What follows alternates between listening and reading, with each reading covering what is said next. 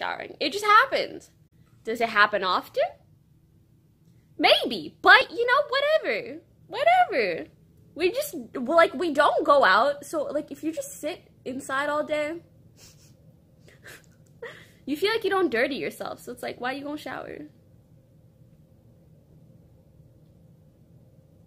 I'm just memeing. We usually shower every day or two.